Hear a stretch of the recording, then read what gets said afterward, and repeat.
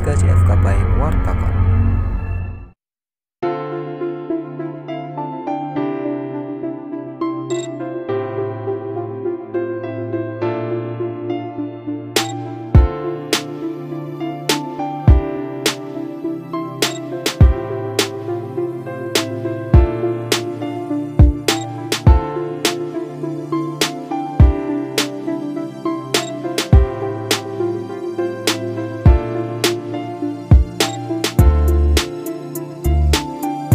dalam kita menjalankan ibadah puasa Ramadan uh, ada beberapa hal yang yustahab yang dicintai yang disunahkan untuk dilakukan bagi orang yang berpuasa.